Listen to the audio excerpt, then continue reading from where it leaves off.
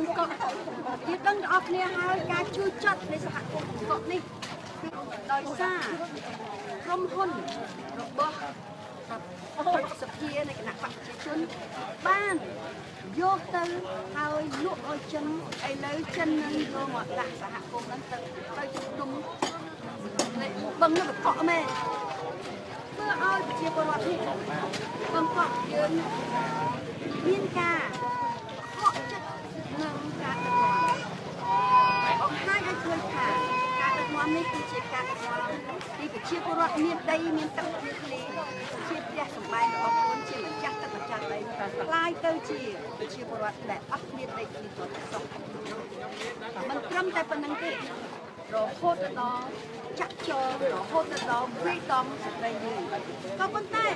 អ្វីដែលធ្វើឲ្យយើងឃើញថាជាការអស្ចារ្យនេះសហគមន៍បង្កដឹកនាំដោយស្ត្រីសិក្សា គាត់កំពុងតែជជែកនេះពួកហើយមិនត្រឹមតែប៉ុណ្នេះទេគឺសហគមន៍បង្កក់នេះអស្ចារ្យមែនទែន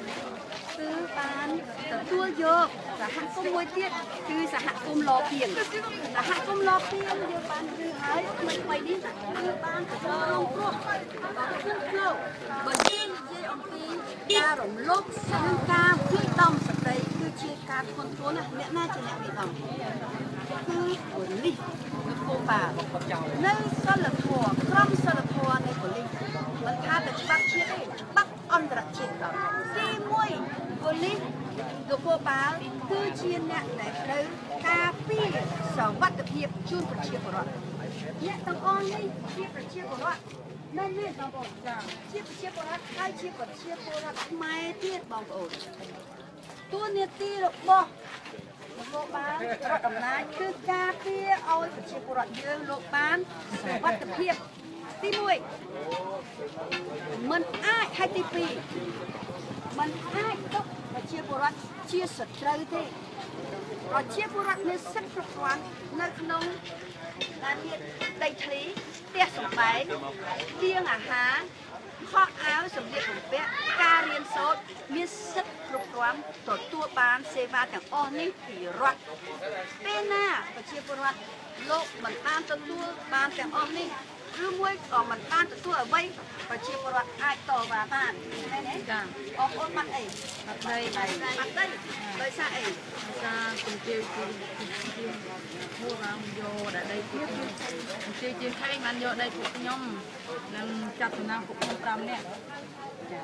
ពីចាក់មានគេយកដីបងប្អូនយកដោយរបៀបណាទីមកយកអញ្ចឹងយកមកយកមកយកឈូសឆាយផ្ទះដល់ ចាចឹងមានការរំលោភទៅលើដីធ្លីរបស់បងប្អូនហើយមានការចាប់ចាក់ចងចាក់ចងដោយយកតុលាការមិនឯករាជ្យណាឃើញទេដូច្នេះយើងឃើញថានគរបាលប៉ូលីសនេះទុកប្រជាពលរដ្ឋជាសត្រូវមិនមែនទុកអ្នកការពារជនរងគ្រោះទេយកជនរងគ្រោះជាសត្រូវរបស់ខ្លួនពេលណាយើងមាននគរបាលនៅក្នុងប្រទេស ជាស្ថាប័នដែលឯករាជ្យកងរាជអាវុធហត្ថដីនគរបាលដីគឺជាស្ថាប័ននៅស្ថាប័នដែលឯករាជ្យត្រូវតែមិនត្រឹមតែការពារទេ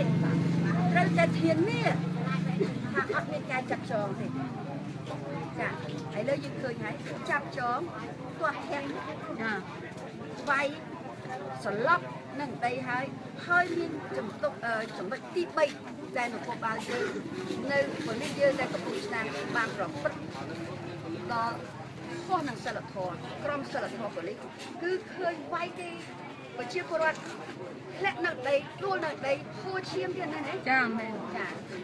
អត់មានមកជួយទេទុកចោលហើយខ្លួនឯងដើរចេញនេះបើសិនជាក្រុមសិលធម៌ប៉ូលីសខុសខុស100%ចា ទី4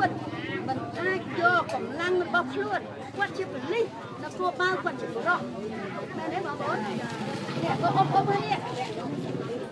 មើលរាងកាយរបស់គាត់មើលកម្លាំងរបស់គាត់ទៅទុកនឹងកម្លាំងប៉ូលីសបានទេឃើញទេពេលណាបើសិនជានគរបាលប៉ូលីសត្រូវតែប្រើកម្លាំងគេត្រូវតែមើលថាកម្លាំងដែលយកមកបង្ក្រាប ជនទុច្ចរិតណាណាការកម្លាំងនឹងវាស្មើនឹងកម្លាំងជនទុច្ចរិតទៀតពួកនេះមិនជនលួចរបស់គេណាជាអ្នករងគ្រោះហើយកម្លាំងនគរបាលជាកម្លាំងបរោះយកអីយកមកវាយយកដំបងហើយនឹងដំបងឆក់បងហើយដំបងឆក់ទៀតឃើញទេបើសិនជាថាគាត់អាឡាធិបតេយ្យថាគាត់មិនគោរពច្បាប់ ចង់ចាត់ចងគាត់តើស្ត្រីទាំងអស់នេះអាចរត់ចេញពីនគរបាលបានទេកម្លាំងបរោះបានទេចាំបាច់យកដំបងយកមកឆក់រហូតដល់ដួលហើយសន្លប់សន្លប់ទៀតហើយធាត់ទៀតចោលឆក់ទៀតចាចោលចៃបោះចោលទៀតអ្នកនេះអ្នករងរងទៀត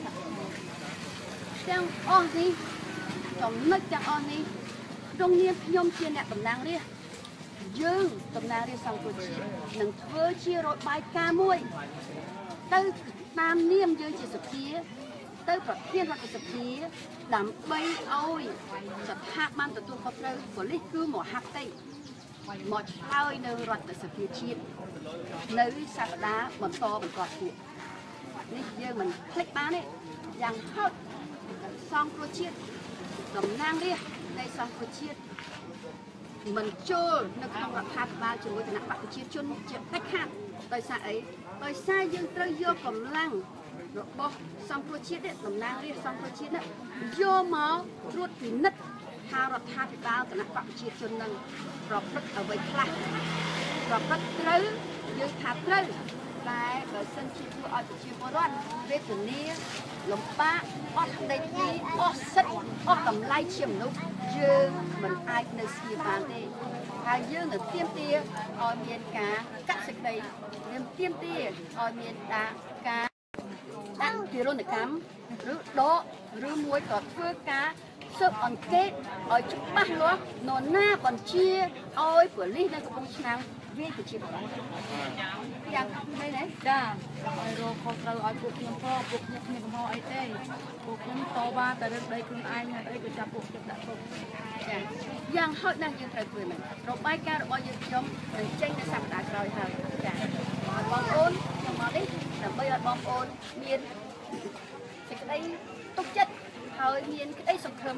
ថាការលំបាករបស់បងប្អូនអយុត្តិធម៌នេះគឺអត់មានអាចពួកដែលប្រព្រឹត្តអង្គើអយុត្តិធម៌លើបងប្អូនមិនអាចរួចខ្លួនបានទេណាបងប្អូនណាចាអរគុណបងប្អូនអរគុណ